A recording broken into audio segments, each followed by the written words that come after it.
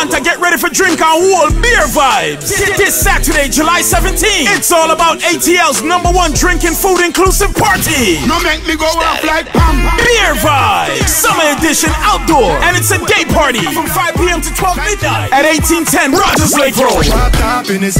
Music powered by Platinum Kids from New York, DJ De Niro from Miami, Killer Mike from Miami, One Drop, Black Platinum, Revolution, and DJ Nini. Limited pre-sold tickets on sale right now at, at summerbeervibesatl.com.